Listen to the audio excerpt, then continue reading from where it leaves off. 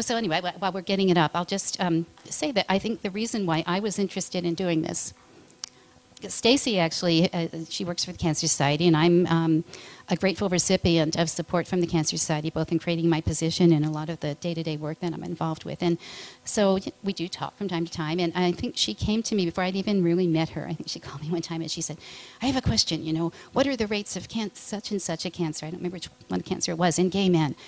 And I'm like, mm, "I don't know," because I'm not an expert in this area. I've gained a lot more appreciation in the last couple of years, but I would not put myself forward as an expert at all in this area. But you know, there's not that many people that are. That's what I found out because I tried to answer Stacy's question and found that the data just really were not there. And so that's what led me to be interested in this area and making a difference because the more that I learned, the more it seemed that the gay community and the LGBTQ um, community in general seems to be bearing a disproportionate burden of cancer compared to the population at large. So, I mean, it may be true that it's a niche population in some ways, but I think when we look at the burden of cancer, that's not the case. Um, and so that's what made me interested in learning more about it and, and proposing some research to move forward on it. So I think I will. Um, oops. I'm pushing the right thing. Let's see. Okay, there we go. So that's where this, I kind of preface it. So what are the rates? Okay, so you know the answer that I'm going to give you. We, we, we, we don't know for sure. And why do we not know for sure? You you think, okay, straightforward question. I, I fully expected that I could give Stacy a good answer. Um, but the problem is that we just don't have the pieces of the data that we need to answer the question. So there's different ways that cancer rates can be computed. And so if you're trying to understand on the basis of the population, you have to know something. Uh, you, there's different ways you can do it. So you can collect data from people directly and say, okay, have you had cancer? Um, what's your sexual orientation? That would be an example of the, the presentations that we just saw in the, the large plenary where people self-reporting that information and uh, relating it together.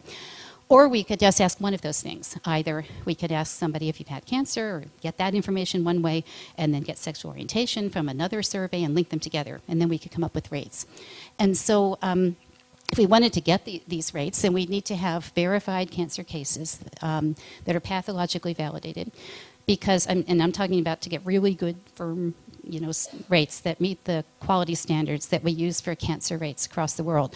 Because if you ask people, had you had cancer? It's very surprising. People don't know what kind of cancer they had. Um, my, my grandfather, for example, for many years, my family said, oh, he had prostate cancer, but actually he had colon cancer. So, you know, people don't know, and it's interesting. So you really have to have the, the paperwork that shows what the tumor was if you're going to come up with rates. And you'd have to have something about age, because we have to correct all rates for age. I said, cancer increases as you get older. So if you're just looking at, at numbers, that's not going to be good enough without knowing the, the age data. And you'd have to have sexual orientation data. And um, the problem is that cancer registries don't collect sexual orientation. They're our standard way that we get most of these data. And they just don't. Um, the, the BC Cancer Registry is a very high quality registry, it follows all the rules for cancer registries across North America, except it doesn't collect a lot of stuff. And um, so the stuff it does collect is really good, but it doesn't collect sexual orientation, doesn't uh, collect ethnicity, it doesn't collect a lot of things. It just isn't part of its mission the way it's defined it to date. And, um, and if we had a, a population based assessment of sexual orientation that included that for everybody, that we could, like the census, you know, we could link it up. But we don't have that either. So it really means that we're stuck with having to make estimates not following what we would like to have in terms of very firm numbers. So some of the ways that um, we come up with rates are looking at self reported. I told you it's not has its limits, but it is a way of asking people if they've had cancer, what their um, sexual orientation is, finding out, using that as a basis for rates. And you can look at subgroups of gay men at particular risk. And there is one I'll, I'll talk about that gives much better data because that subgroup is well characterized. And then sometimes you can make projections of what the cancer rates would be based on risk factors that we know are very well linked with cancer rates. So you know already I'm going to be telling, talking about smoking, for example, and lung cancer. So those are three of the ways that you can at least get a sense of what's going on. So I'm going to just tell you a little bit about some of the studies that have been reported in these areas. And there aren't a lot. There, I mean, there surprisingly, and to me kind of shockingly, are not a lot. So um, one of, I think probably the, the, sort of best and well-cited study looking at a survey that links self-reported data was um, reported by Boehmer in 2011. And what that her team did was to link information from the California Health Interview Survey, which is like our Canadian Community Health Survey, um, all of you know a, a randomized a randomized uh, selection from the California population that included a sexual orientation question. You may or may not like that question, but at least it had something in there, and um, a sort of rough estimate of cancer prevalence. Has a, a physician ever told you that you had cancer? Then they ask what kind of cancer. And um, one of the virtues was that the data are reflected on over 50,000 men, um, adults, up to age 65. Already it's an issue, right? Because cancer is higher with older people, so they aren't in there. But um, at least it was well done, well collected, well analyzed. And, um, and these are just showing a few of the data. Um, she compared heterosexual men, gay men, and bisexual men based on self report looked at cancer history, so that one's on, on the top, and um, found that gay men had a higher um, prevalence of um, cancer compared to the other two groups. That when they were diagnosed, and the gay men were diagnosed at an earlier age. And then she looked at some of the different kinds of cancer, and um, prostate cancer which Mayor pointed out is an important cancer for men. It's in men in general, it's the most commonly diagnosed cancer. And in this case, the gay men had a lower rate of prostate cancer. Colon cancer didn't differ among the groups. Melanoma, certainly higher in gay men. Melanoma is a fairly rare cancer, so I don't know what the numbers are, but it wasn't a significant finding, probably partly because of the numbers. Other cancers, um, we don't know what they are, but um, gay and bisexual men had higher numbers of those. And then I just thought, for, for your interest's sake, to, to look at um, a standard question that's often used in research, which asks people to rate your health as a whole. Would you describe your health as excellent, very good, good, fair, poor? It's a standard um, question in many health surveys and is well correlated with actually physical exam findings. And so um, it's I thought it was pretty impressive that across the board there were no statistically significant differences across groups, and people in general reported their health was this is combining the excellent, very good, and good, so pretty good. So most people saw themselves as in pretty good health. So, um, you know, the, the, conclusions from this study overall, gay men had more can cancer, they reported, younger age, less prostate cancer, we don't have information on a lot of cancers we'd like to know about, particularly lung. I mean, that's one that's the biggest, and that one was not included in this study. Part of the reason is because, unfortunately, lung cancer is uh, generally diagnosed at a late stage, and we have very poor treatments for lung cancer. So there are few lung cancer survivors sitting around waiting to answer the California Health Interview Study. So they aren't reflected in the population, and so unfortunately they can't be counted here. And um, and, and then there also is some cancers, including lung and, and anal cancer, were, weren't included uh, in the study, and they might be higher in gay men. We have some suggestions in other literature, and unfortunately, we couldn't take a look at that here. So that's one example, though. As it is probably the most widely quoted study of um, cancer rates in gay men, and it also looks, looked at lesbian and um, and transsexual, I believe, um, populations. But anyway, it, it's one of the few, and, and, and we know it has limitations, but it's kind of the only one out there. So, subgroups of men, we can get much better data if we have a well characterized sample. So, the subgroup that's looked at the most often is people infected with HIV. And there are some very good studies, mostly US based, that have looked at HIV populations. And um, the reason is that HIV diagnosis is a reportable diagn- infectious diagnosis, it has to go to the Centers for Disease Control and Prevention in the US. And so it's a reportable disease that's followed quite well. So in the US, there's very large populations, as you can see on the bottom, about 55,000 people who've been studied thoroughly for cancers and all sorts of other health um, outcomes. And um, as you know, HIV, okay, it's you know, more frequent uh, according to sexual orientation. It's not a proxy for sexual orientation. It's not the same thing, so that's a limitation. And the data I've seen have not separated out um, different categories of individuals with HIV within this population. So again, that's not answering the gay men question, but at least we do have some good data. We know that HIV treatment um, has implications for certain cancers, and uh, and the diagnosis itself has um, age define, uh, AIDS defining cancers, so Kaposi's, non Hodgkin's, cervical, all virally related, that are, when they occur in um, people that don't have other risk factors, it's seen as really an indication of, um, of AIDS. But um, Shiels and uh, et al. followed this large group of HIV um, patients for other cancers. So, not just the ones that we know are linked to um, AIDS, but looking at other non AIDS defining cancers, and um, quite a large period of time to draw on. So, what she and the group found was that um, over time, so remember it was from 1991 to 2005, and as you know, many advances in um, antiretrovirals and so forth happened over that time. So, you would expect as the virus was controlled, you would see a difference in the AIDS related cancers, and they did. So, um, they found that the AIDS defining cancers decreased over that time. The non AIDS defining cancers increased about the same amount. So people still were getting cancers, but not the same ones. So compared to the general population, the HIV population, higher lung, anal, liver, Hodgkin's, and lower rates for prostate and colon. So this, again, lower rates for prostate. So I'm uh, at the end. I'm, my, I'll, I'll give you the, the heads up already. I found that very intriguing because I don't know, and maybe I don't know if you know physicians can help me figure why would gay men have lower prostate cancer risk. I'm not sure. So I thought it was interesting though when you see something consistently coming forward, that's uh, it's intriguing. So I, I, don't know, but it was uh, interesting to see.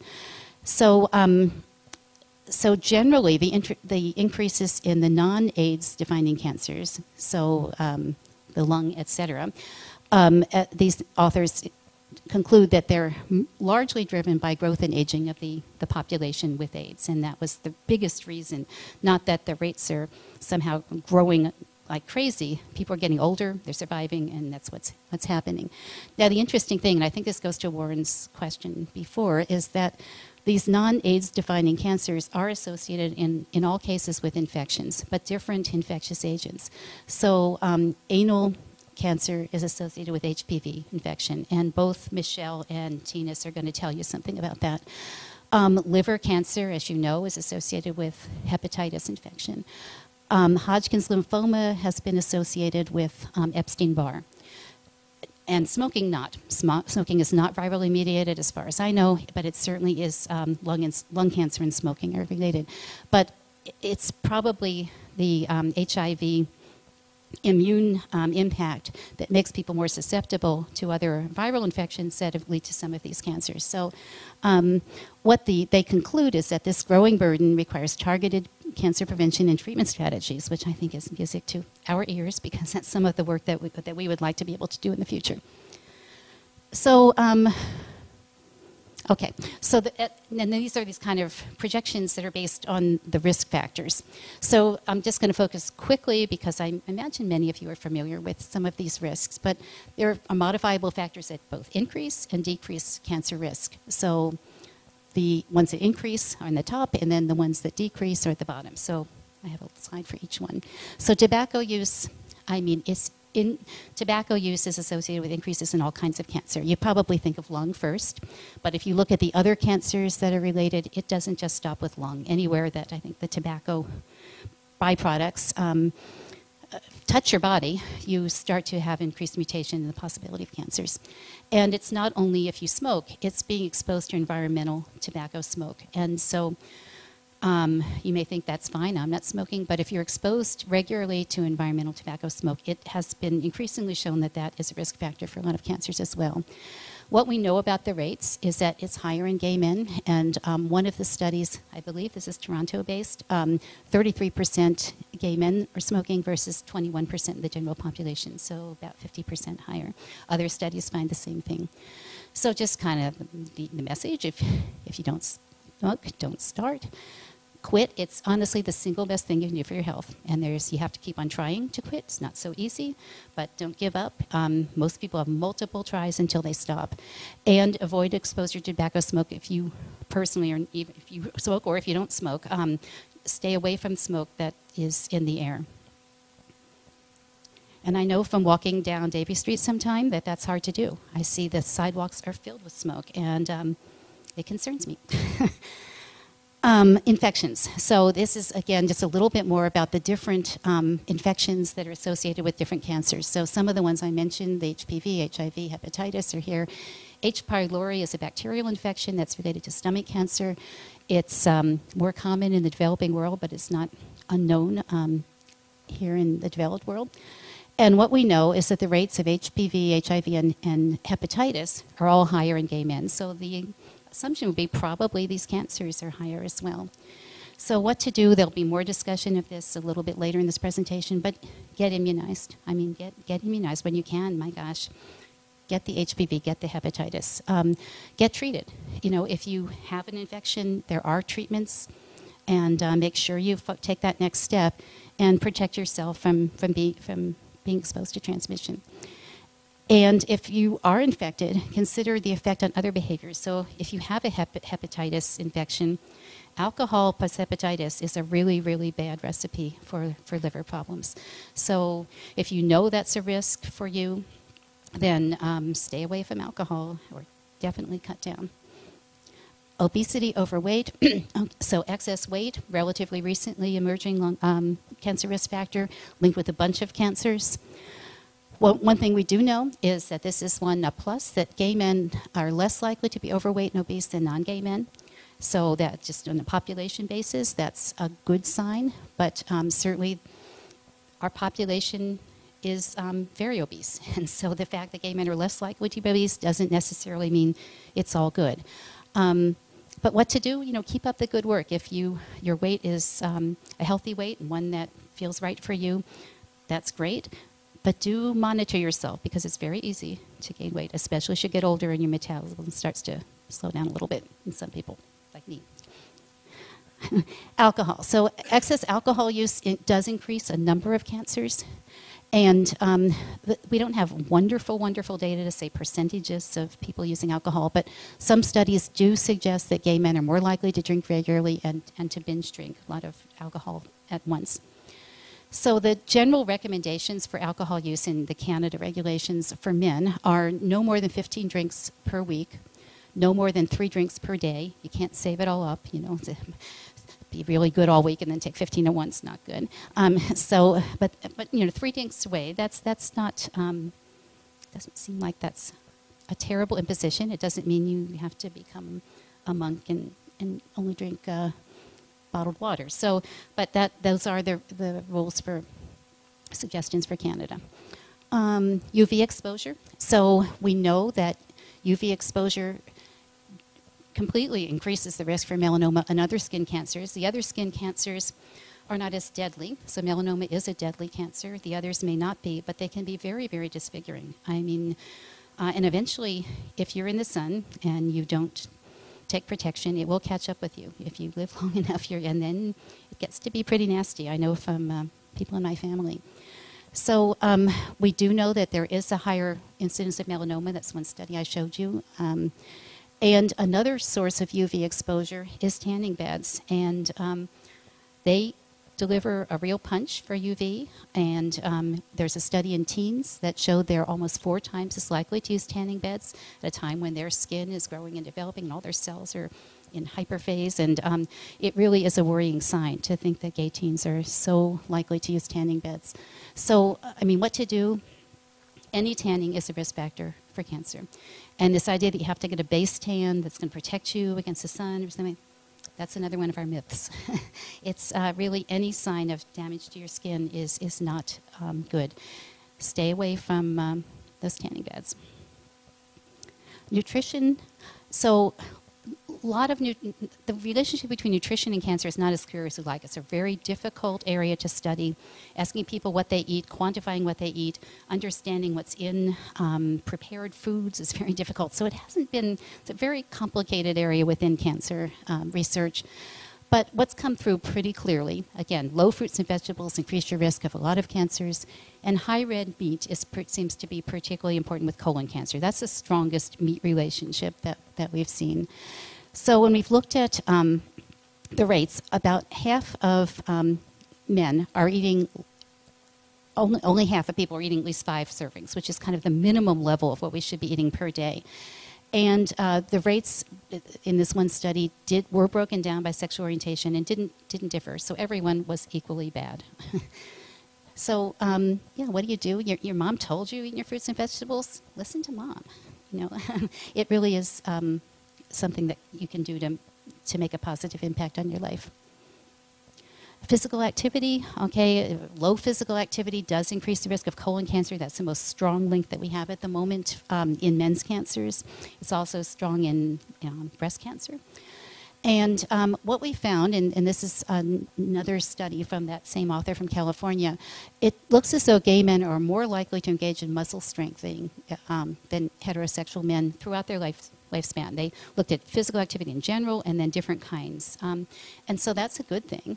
But um, when overall vigorous activity was looked at, fewer than half reported any vigorous activity during the previous week, which is just like the population as a whole, which indicates the whole population, including but not limited to gay men, really should, should uh, get moving.